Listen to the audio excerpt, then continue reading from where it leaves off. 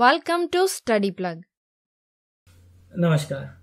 आज इस वीडियो में हम एक नया प्रोग्राम बनाना सीखेंगे, जो कि है आज की वैल्यू पता लगाने का। आज की वैल्यू क्या होती है? A S C I I ASCII का मतलब क्या होता है?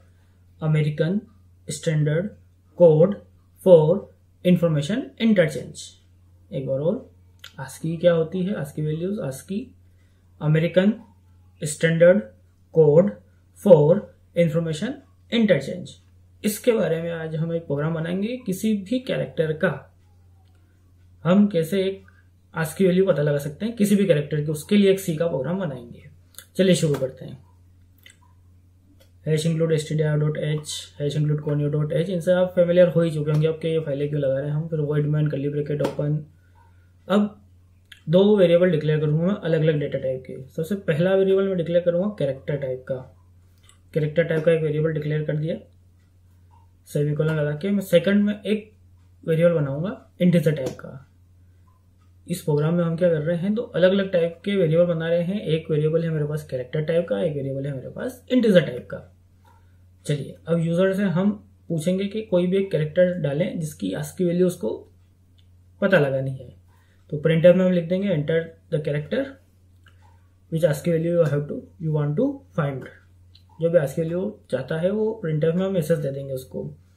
अब हम कैरेक्टर को रीड करा रहे हैं, अभी तक हमने जितने प्रोग्राम बनाए थे, हमने इंटीजर को रीड कराया था परसेंटेज डी के साथ फ्लोट को रीड कराया था परसेंटेज एफ़ के साथ। यहाँ पे हम कैरेक्टर को रीड कराएँगे परसेंटेज सी के साथ। इसलिए स्कैन एफ़ में अब मैं परसेंटेज एफ़ डी न लिखते हुए क्या लिखूँगा? परसेंटेज सी लिखूँगा।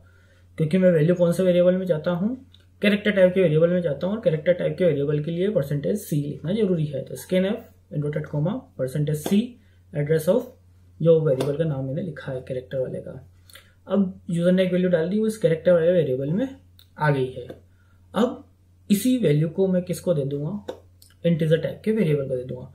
कैरेक्टर में एक वैल्यू है, उसको मैं किसको दे रहा हूँ? इंटीजर टाइप के वेरिएबल को दे रहा हूँ। तो इन बिल्ट ये प्रोसेस है कि अब वो जो कैरेक्टर वेरिएबल में जो वैल्यू है, वो किसमें चली जाएगी? इंटीजर में चली जाएगी, पर वो एज इट इज़ नहीं जाएगी। उसकी आज की वैल्यू ट्रांसफॉर्म होके उस इंटीजर वेरिएबल में चली जाएगी। जैसे कैरेक्टर में यूज़र ने डाला कैपिटल ए तो कैपिटल ए इंटीजर के तो समझ में आएगा ही नहीं। पर हम किसको किसको असाइन कर रहे हैं? कैरेक्टर को किसको असाइन कर रहे हैं? इंटीजर को। तो कैपिटल ए उसको तो समझ में आएगा ही नहीं तो वो क्या करेगा? उसके आज की वैल्यू ले लेगा। वो लेटर ना लेते हुए उसकी वैल्यू ले लेगा, क्योंकि इंटीजर वैल्यू ले सकता है। तो उस कैपिटल ए की वो क्या ले लेगा? आस्की वैल्यू ले लेगा। अब मैं इस इंटीजर टाइप के वेरिएबल को प्रिंट करा देता हूँ। Print the ASCII of that character is percentage d और वेरिएबल को मैं प्रिंट करा रहा हूँ। प्रिंट करा दिया gate C H program close कर दिया। अब इस प्रोग्राम को रन करते हैं। रन करने के बाद मैं सबसे पहले दे रहा हूँ कैपिटल ए जिसकी वैल्यू आ गई सिक्सटी फाइव जैसा हम जानते हैं कि कैपिटल ए की वैल्यू आज की वैल्यू क्या होती है? सिक्सटी फाइव स्मॉल ए डाल के देख लेते हैं। स्मॉल ए की कितनी आ गई? नाइन्टी सेवन ये हमको पहले से पता है स्मॉल ए की नाइन्टी सेवन होती है। ये प्रोग्राम किसी भी अल्फ़ाबेट का, किसी भी की का अगर आपको अगर आज की वैल्यू निकालनी है तो उसके लिए यह प्रोग्राम काम कर जाएगा। आशा करता हूँ कि प्रोग्राम आपको अच्छे से समझ में आया होगा।